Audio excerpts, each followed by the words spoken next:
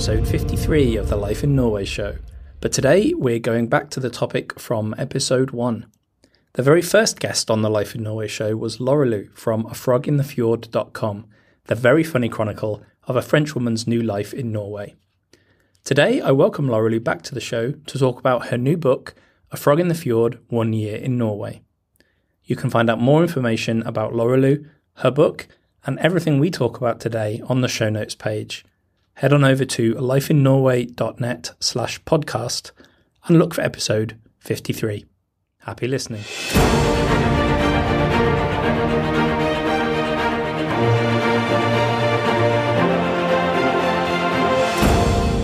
I'm joined today by Lorelou from afroginthefjord.com. Uh, Lorelou, welcome back to the show. Thanks. Thanks for inviting me again. Not a problem. You were, of course, the guest on the very first episode of the Life in Norway show, and you are your blog is is widely read by many of my readers. Uh, I know we we we share an audience, uh, but the reason you're back on the show today is uh, the new book, uh, "A Frog in the Fjord," which we will dive into in uh, in detail shortly. First of all, though, let's bring our audience up to speed. Um, what brought you to Norway 10, 11 years ago, and what have you been doing uh, in, in that time? Um, I came here initially on a short contract working for an environmental NGO, and then I stayed, and um, and now I work for the Norwegian government, um, also on environmental issues, and I also have a baby who was born last year in Norway. Congratulations. Yes, so it's been almost 12 years now. The book is out now in English, and it's actually a translation of uh, a, your Norwegian version of this book, which has been released for, for many years now. So, um, why now? What, why the English version so so many years later? Actually, uh, it's not really translation. I wrote the okay. book in English yeah, I wrote the book in English initially because at that time my level of Norwegian wasn't good enough for me to write a book, a whole book in Norwegian. So the the Norwegian publisher uh, Cappelen Damm uh, didn't want to publish that book in English, and they translated it.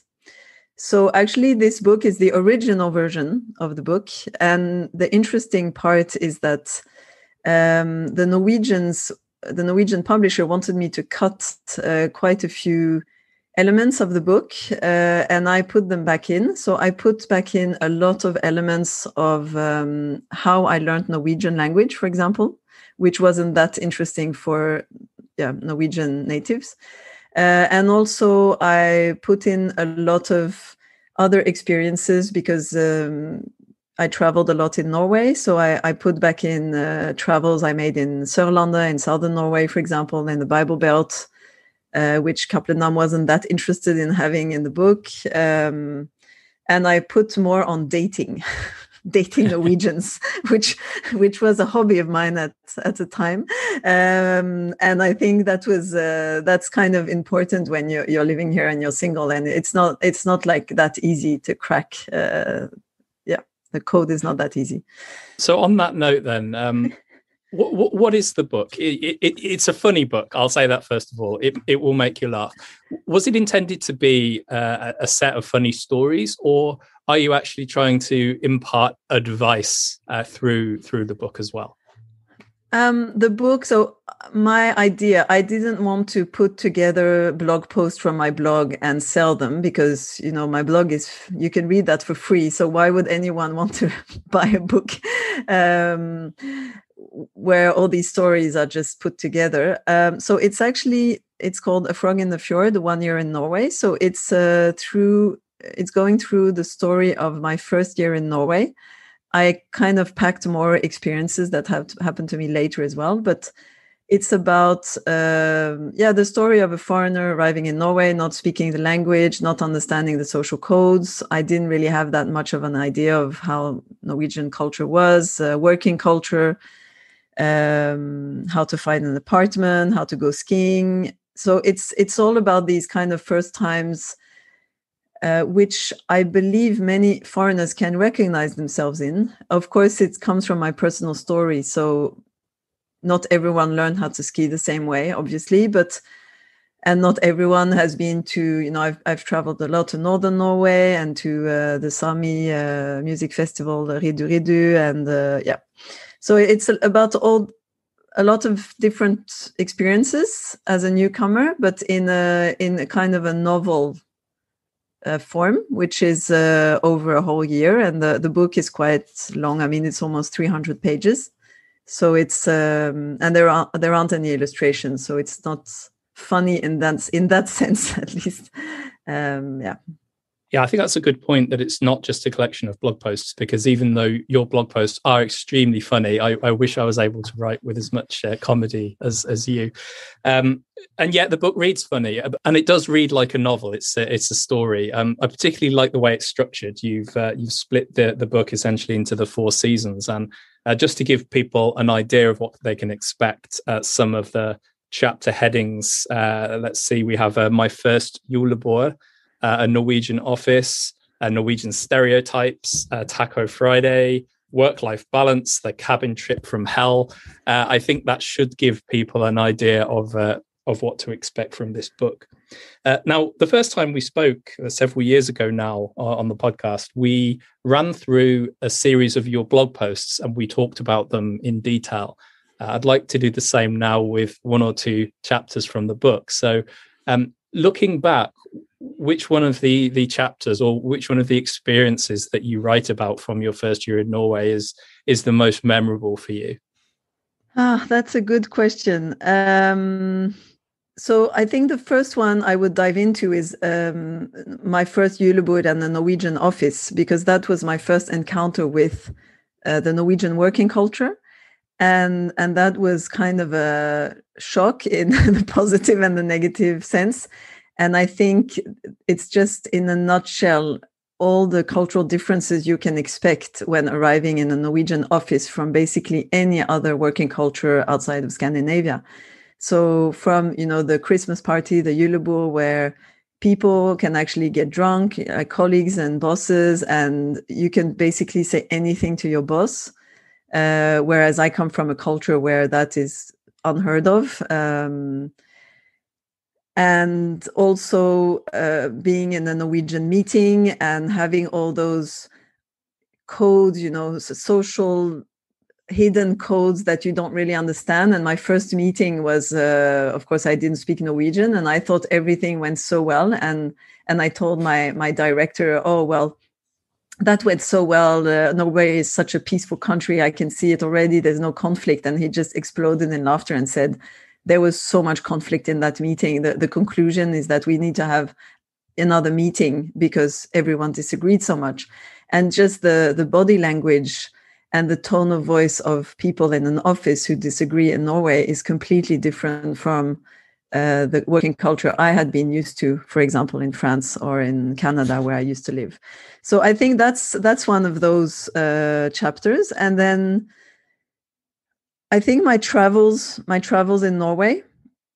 Um, I traveled uh, the whole summer um, and also in the winter to Tromsø, but the whole summer to different parts of Norway, to the Lofoten, to southern Norway, to um, the border between uh, Troms and Finnmark, um, and also to Trøndelag. And I think in those chapters, I really discovered that Norway is not just Oslo. It's not just you know the city council and the fjord and going to Bergen to see the uh, the fish market and going to Stavanger to see Preikestolen. There's so much more to Norway. There's a variety of cultures and food experiences and languages, dialects. I mean, it's a very, very rich country. And I feel like, you know, if I had a message about this book, it would be to show exactly that to to remind people that Norway is just is not just pretty pictures you know of fjords. It's and Norwegians are not all in their bunads uh, you know on 17th of May with a little flag. It's actually much more complex. Uh, and on that note actually uh, the um, I, I, try in the book to also talk about the history of Norway and why Norwegians are as we perceive them uh, from you know our foreigners perspective. Uh, you hear a lot i mean you've written many many articles about this uh, you know are norwegians cold? Are norwegians boring? Etc etc a lot of articles come out about uh, janteloven for example and so I, I, I was digging a lot. I did a lot of research for this book to actually figure out why is Janteloven there. Uh, is it really what people say it is? Um, why, uh, you know, why is there the 17th of May? Why are there so many Americans with Norwegian heritage in the US? There's more than 5 million people. So all this comes from history, and we, we tend to forget that so it was actually a very interesting experience for me to to write this book uh, because of that. You've mentioned the 17th of May there, and uh, of course, as we record this, it's only been a week since this year's event. Um, now, related to the 17th of May, I would just like to read a very short section from the book because um, this this is a, a particular passage that really caught caught my eye. Every year, at least one Scandinavian paper raises the debate of the use of the Norwegian flag during the Norwegian National Day, because here it is not just a few flags which are waved, there are literally tens of thousands of them, pinned, drawn on cakes, and on faces. For foreigners like me, this exaggerated use of flags was very, very strange at first, if not shocking. And you go on to talk about uh, how that uh, expression of uh, national pride is perceived differently in France. It's certainly the same in the UK, uh, perhaps the US to a certain extent too. Um, I really like this section because it reminds me of how I first thought on the 17th of May, and it's experience I'd completely forgotten about. Because if I if I walked into a march in London and everyone was waving the Union flag and they all had their face faces painted, I would assume I was at a right wing political rally. Exactly, uh, and of course, very very different in Norway. So um, have you gotten used to that? And and a lot of these things in the book happened to you t- 10 11 years ago. So have you gotten used to these kind of things now or do you still find them strange? Well it's funny you mentioned it because a week ago i was i was looking on finn you know the the website to, as i say uh, where norwegians sell just about everything uh, except sure. their soul. And i was i was actually looking for a bunad and i i, I just um, i applied uh, for norwegian citizenship and I, I thought, you know what? If I get it, I'm going to buy myself a bunad. I'm going to buy myself a traditional Norwegian dress. so I've I've gotten definitely used to a lot of a lot of what was very surprising to me in the beginning, and um, and I think many of the experiences I've had uh, and the conversations I've had in in that first year helped me understand and kind of also fall in love with Norway, but also some elements I've just not rejected. I wouldn't go that far, but I still don't really agree with them. Uh, and I feel like as a foreigner, I have kind of I've given myself the right to just accept that I'm, you know, I'm never gonna fit in 100%. And I've met Norwegians um, who don't fit in 100% either, who don't like skiing, and uh, yeah, for example, yeah, I've also found a couple of Norwegians that don't like skiing. It it did take me several years to find them, but they they are out there for sure. Yeah, so it's um, I think it's a, a mix of a lot of things.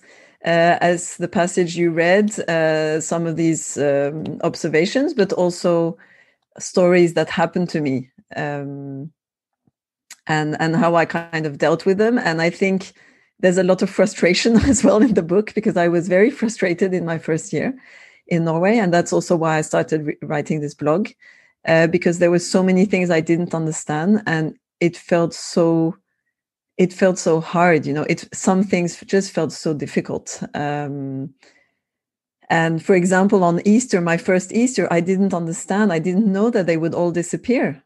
I was alone in Oslo for like 11 days and they were all gone. And I was wondering, where are they? And they were all having fun in their cabins and skiing and eating oranges or whatever. And I, I felt a bit like abandoned you know why didn't anyone tell me and uh, and then i was like how do we go to these cabins i didn't know any norwegians and nobody was inviting me and i was struggling with the language and i I was dating guys I didn't understand the codes. So I think it's not like a happy, happy book. There are many funny situations uh, because I've been in these kind of quirky, strange situations and also frustrations um, where I try to figure it out and I try to get out of it. And and and I think it's also because at first I thought I would only stay a year in Norway, and that's also why I wrote one year in Norway because, you know, of course, you know, I've been here many more years, so you figure out the end of the story. But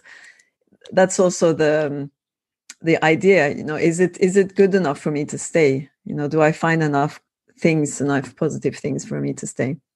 I, I think one of the reasons I identify so much with this book is that we we moved to Norway around the same time. You, this book is set like a year, a year, maybe two years before I arrived, but more or less the same time around around 2010, uh, 2011, and a lot of the things that you experienced then are exactly the same as as what I experienced.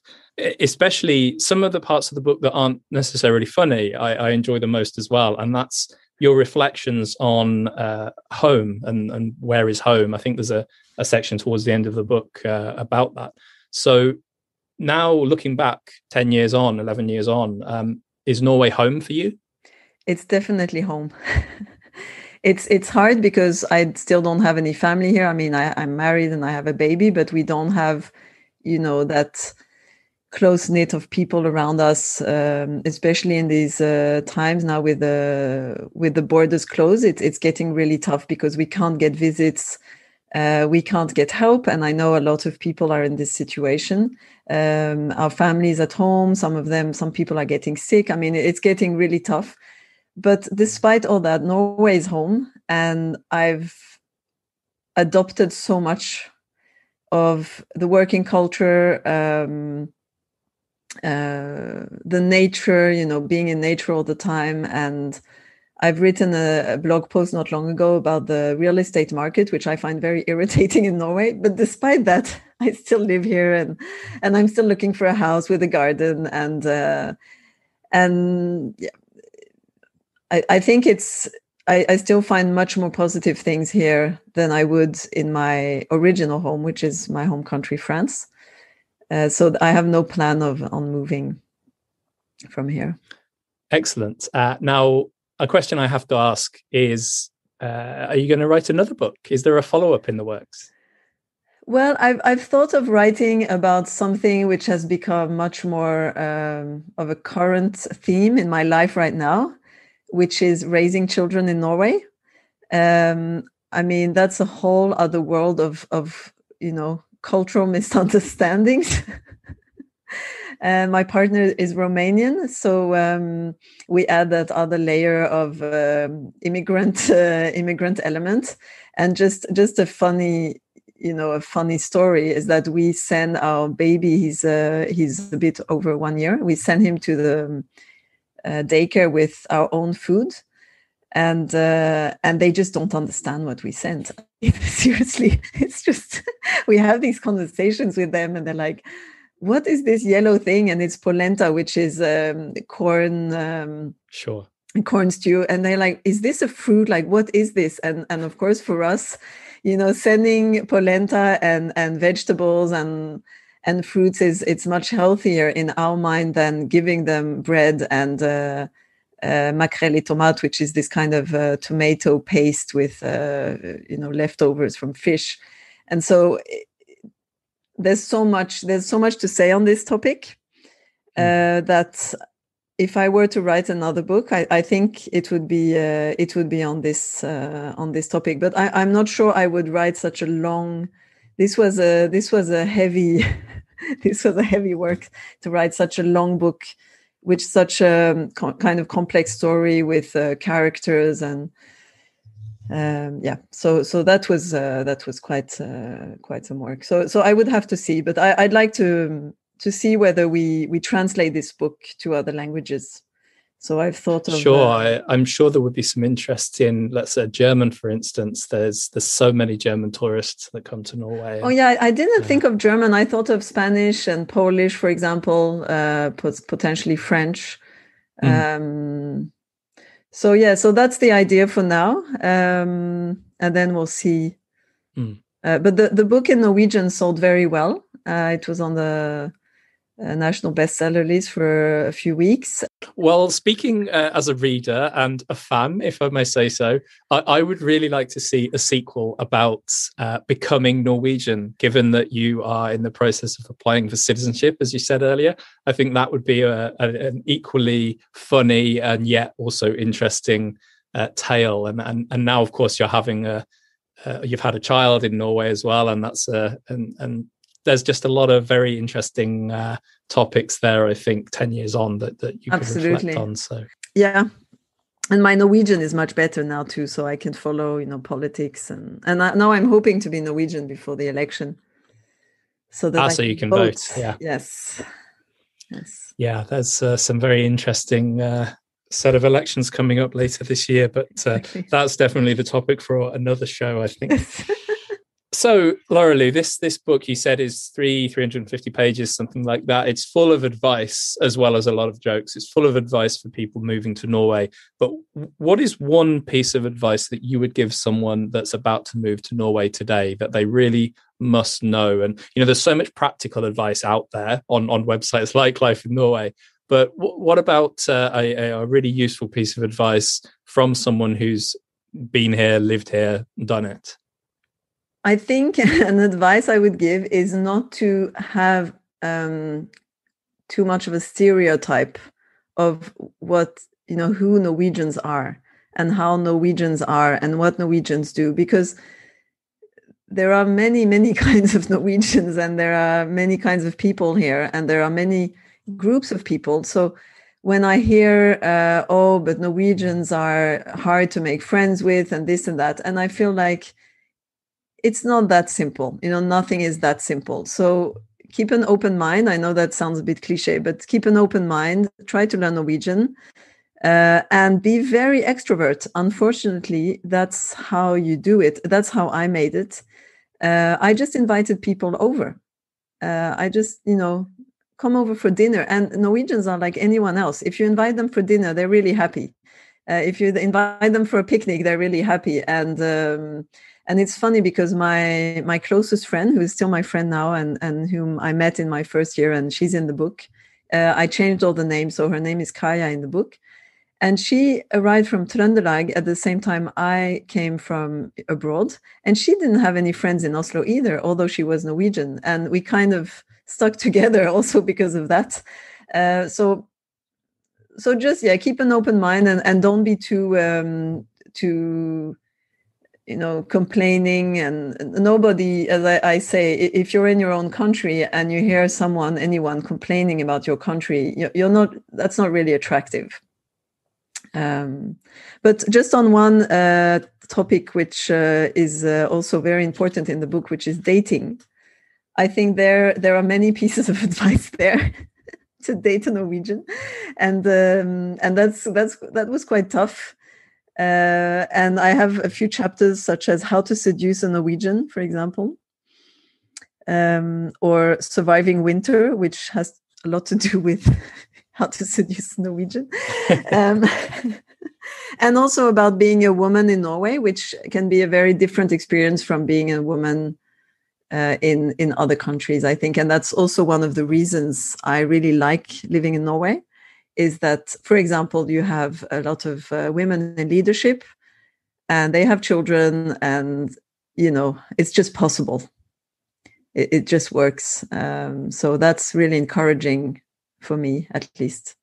I think it's curious that both of us, we came to Norway single and we've both ended up with uh, fellow foreign citizens as as partners I wonder exactly. if that says anything about the, the dating scene yes, exactly. Apparently, it's even worse with the coronavirus because everyone is on these dating apps, but they can't really meet. They feel bad about meeting because they have, you know, people in their family who are in risk groups. So it, it's becoming really complicated. Um, I want to ask you a little about uh, raising a child uh, in Oslo in, in 2021. Obviously, we can't talk about this without um, mentioning coronavirus because th- that is the backdrop. So it's hard to ask you about your experiences um, raising a child in Oslo because really the, the virus has kind of taken precedent. It must have affected every aspect of uh, having the child from from pregnancy and then everything through to now now the child's attending Barnehage. So, what has it been like this last year uh, in Oslo? I think, uh, like on the positive side, um, we've spent a lot of time with our child because, of course, yeah. because because we were um, working from we're working from home, both of us, and the daycares have uh, limited uh, opening hours because of corona so we're spending a lot of time with him much more than, than we would have spent in a normal year uh, also as soon as there is a suspicion of um, someone being infected at the barnehage they, they close everything for 10 days so i mean our child is what they call the you know corona babies i don't know what's going to happen with them but he's a very happy child and that kind of makes me feel good about the fact that at least despite all this mess, uh, we've had this time, privileged time with him.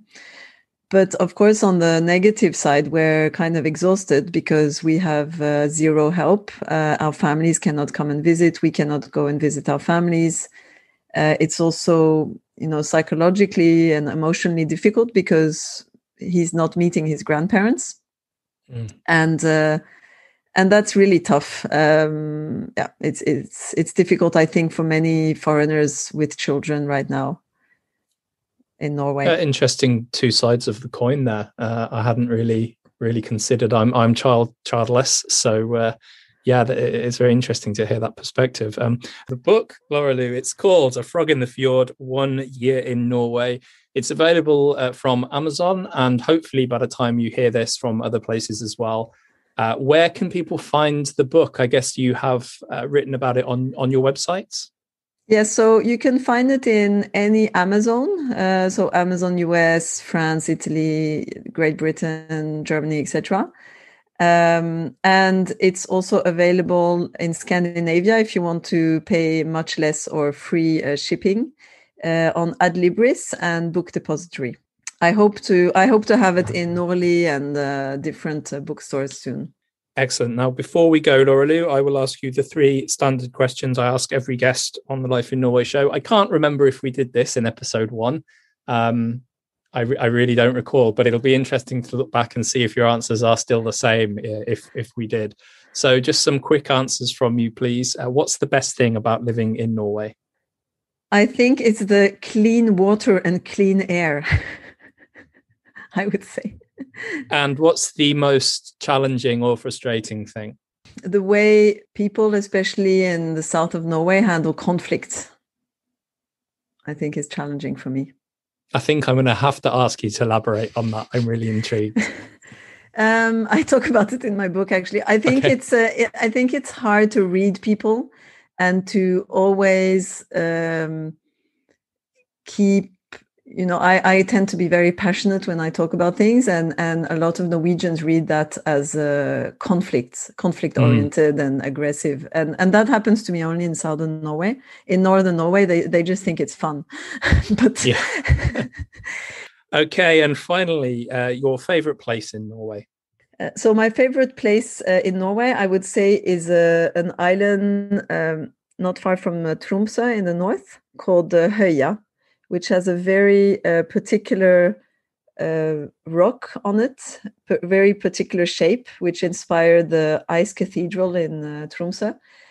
And uh, that place is just magical. There's like white sand beaches and uh, turquoise uh, water, and it's just so peaceful. I mean, I I would love to buy a house there and I don't know, go fishing every day or something. Laura thank you so much for joining me today. Uh, we've talked about the book, of course, which is called A Frog in the Fjord One Year in Norway.